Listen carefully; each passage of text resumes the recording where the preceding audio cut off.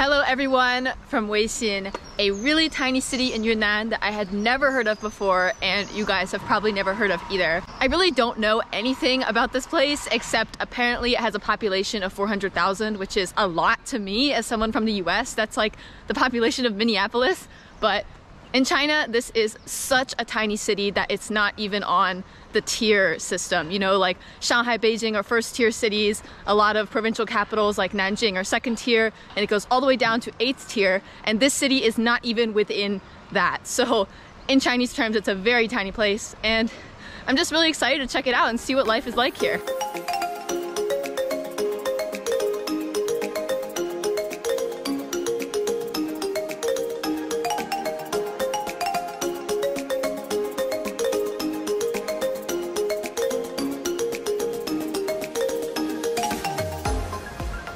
Moment I got off the train, I saw this really nice little walking path here. So we're gonna walk from the train station into the city on this path and see what we find.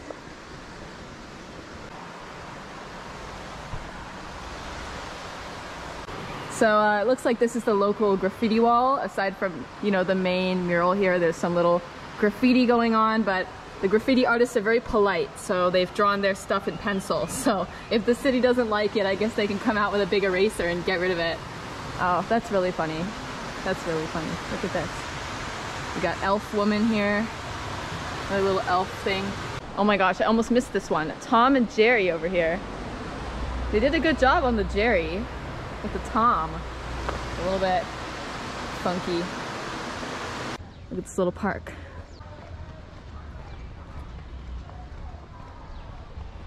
My first impression of this place, other than the really nice walking path and the very polite graffiti artists, was construction going on everywhere. This may be a small city now, but it's expanding at a crazy fast rate, probably mostly because of people moving here from the surrounding villages and towns. Even amid all the construction, though, every once in a while you can see one of the old fashioned stone houses. 小朋友好. We've reached the main area of the city and just going for a stroll. Look at this place. The sidewalk is literally bigger than the actual road. Life is good. Bro, it's October. Hello. Some places take selling fruit very seriously. Look at this tropical vibe in here. Nice music, cute little baskets, little leaves. 10 out of 10. I really love this basket backpack aesthetic. Gotta get me one of those things. Aside from basket backpacks, another thing that is very in around here and also in Sichuan is these wicker baby strollers. But times are changing, so the wicker stroller has been upgraded to have the little plastic doohickeys on it for the babies to play with and also some gold paint to keep it classy. Rar. The terrain here is pretty wild. Take a look at this. There's just a giant cliff thing right here, right across from these buildings. This crazy terrain is the reason why I didn't see a single bike in my entire stay in this city. But there are motorbikes, and last year, even shared motorbikes were brought into the city. That's what these yellow ones here are. Cute little park right here in the middle of this busy street full blown aquaculture center just right here in the middle of the city. And it's noon, and the children just got off of school for their afternoon break, and they are ready to get into some shenanigans.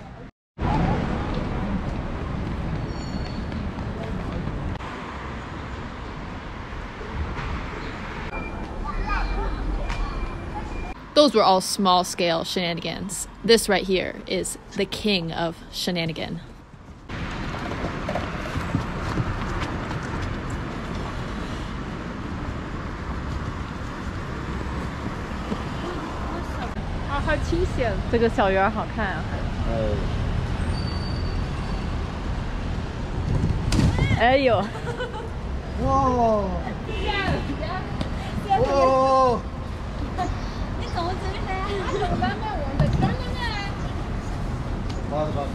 Just when you think that you've walked out of the construction zone, you get right back into it again. It literally feels like half of this city is under construction. I'll have to come back here in another year or two and see what this place looks like. Oh my gosh, this is so cute. Look at all those puppies.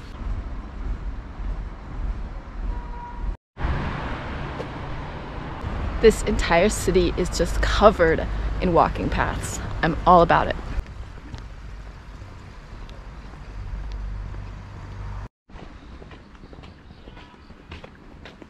Amid all the construction and the modernization, this place does have some kind of ancient looking architecture that was recently renovated just a few years ago. Cities as tiny as Weixin are jokingly referred to as being 18th tier because they are so small that they aren't even within like the main 8 tier system, but for being an 18th tier city, I gotta say Weixin is a really nice place. City life doesn't have to be a concrete jungle. When you put in all these parks and gardens and trees and all these walking spaces, it just makes city life so much more pleasant. This place is doing its best to cover all of the like ugly urban things with cute murals, like these poles and these I don't know what they are, like electricity boxes or something like that. Like there's cute little murals on almost all of them throughout the entire city. And some of them match, like these two. Love it. If you're feeling inspired by all the art all over this place and you want to give painting a stab yourself, I would like to recommend to you guys the sponsor of today's video, Skillshare. Skillshare is an online learning platform where you can sharpen up your existing skills, learn a new hobby, or improve your lifestyle. And when it comes to the arts, there are endless options. Whether you're an experienced artist looking to fine tune your skills, or you just want to try out something new and have a fun hobby and a way to relax, there is something for you on Skillshare. I recommend Watercolor Your World, a meditative approach to painting landscapes by Rosalie Haizlett. Her teaching style is fun and relaxing, and she gives a lot of useful tips, such as making a soft and moody sky by wetting the paper before adding watercolor, and blotting color away with a tissue to make clouds. On Skillshare, I can be completely in learning mode. There are no disruptive ads, and there are thousands of topics to choose from. If you're interested, check out the link in the description. The first thousand people to use this link will get a one month free trial of Skillshare.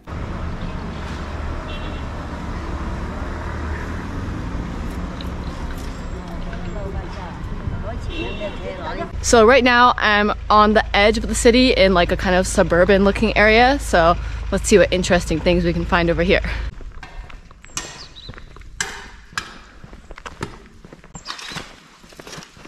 This 边的房子好大呀！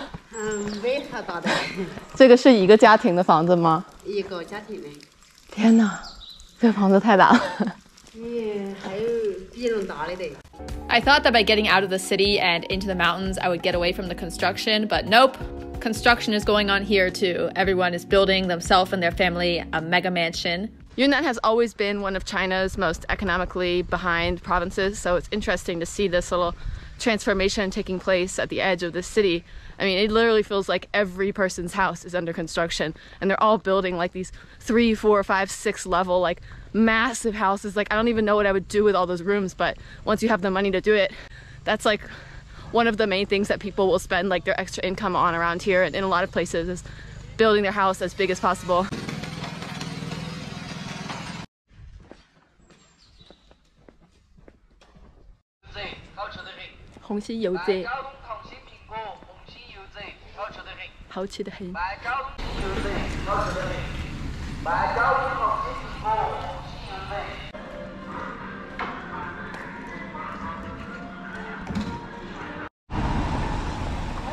Hello，去哪里？散步，要不要一起做餐？散步就可以了，谢谢。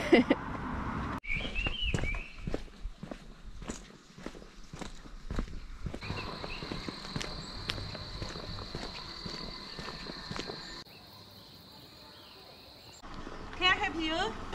我在散步，哦，你会说中文呀？会呀，我在散步呢你，要去哪里呀？就没有具体的地方，就在山里走呗。你们这边风景挺好。啊，陪你一个，走，我们俩陪你，走。去哪里朋友爬两次。你们是从小就在这里长大的吗？对呀，我们家就是这里的。我不去，我就在前面。这个这个哈伦是是美国人啊。哈伦是美国人，你们这边是靠什么产业赚这么多钱啊？出去务工啊，去大去呃沿海的开发城开放的呃城市去务工啊。哦，他们是在外面打工，然后回到这边找个房子是吗？对。那留在这个村里的人，他们主要是靠什么工作呀？是那个农田吗？还是有小工厂？呃，小工厂，你看，比如我们这边这里砖厂啊，还有那边是做门的呀，嗯，还有我们这边主要是开车的比较多，我们这边因为以前有有矿，嗯，所以驾驶员比较多。不来不来，你忙的嘞，不来我村上有饭了，你快忙的了，嗯。这是你们这儿的公交车吗？我看到了好多这个绿色的车过来。绿绿皮绿皮小小公交。乡乡村。啊，它是有固定的线路吗？还是？对呀，那它只能在规定的区域内跑。Apparently, these old stone houses are really hard to come by in the village nowadays because there was a subsidy project to help people build more stable homes. 很多平房是政府改的，是吗？对，自己出钱，自己出一部分，政府补贴一部分。这个是整个云南的政策吗？还是全国很多农村都是？所以像这种房子，就是三层的，就是特别大的这种房子，也是有一部分是政府补贴吗？是，这种是自己修的。特别穷的那种，就是你说的那种特别老旧的那种房子，政府才有补贴政策。这个政策是从什么时候开始的呀？最近几年吧，幺七年左右吧。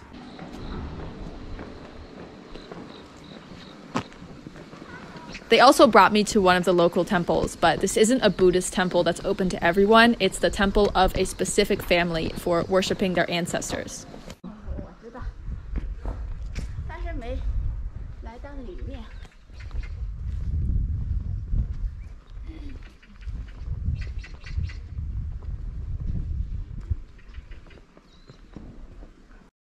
There are all kinds of interesting little nuggets in the mountains around Weixin.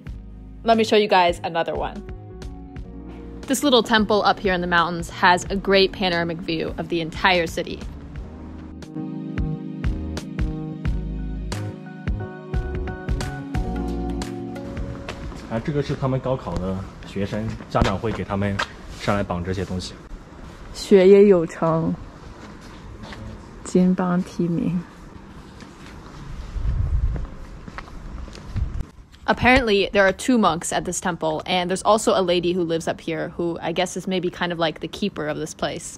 你们三个人就住在这个山上是吗？啊，真好啊！不是我们三个，还有谁住的？六个。嗯。还有谁？有。这里的那个管理的。在这个山上，你觉得寂寞吗？就是每天在这里都没几个人，还是你觉得这样好？每天人多的不得了。 哦，就是白天有很多人上来是吧？白天都有人上来的。挺好，挺好。There's an interesting variety of couches outside the temple to uh, lounge in, I guess, after the long hike up here. Kind of interesting. Never seen that before. There are actually three temples up here, and each one is higher than the one before it, so you can get an even better view of the city below. This colossus right here is apparently one of the local high schools, which has 5,000 students. It's huge! It looks like a college campus.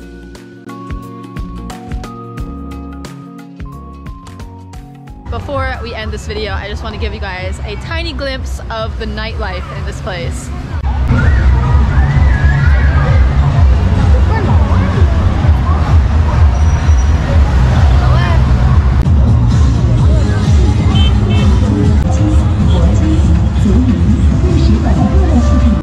Think I took a wrong turn and like missed all the barbecue places and the bars or whatever, but this kid's nightlife is uh, pretty interesting. I'll take it. Look at them go, getting wild.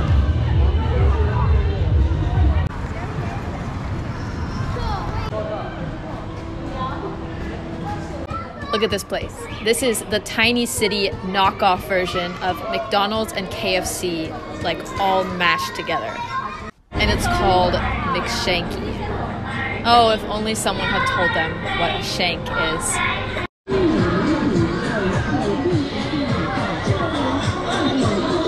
I'm really intrigued by the sport that's going on over here. It's like the kids are on overly tiny bicycles, so they have to push the bicycle with their feet on the ground instead of pedaling it. The city streets of China. See something new every day. That's all for today's video, everyone. Hope you guys enjoyed our stay in Weixin. It's definitely a really charming and friendly place and beautiful scenery with all these crazy mountains and mists and stuff. And now I am at the Weixin train station waiting for the train to go back to Chengdu. So I will see you guys next time.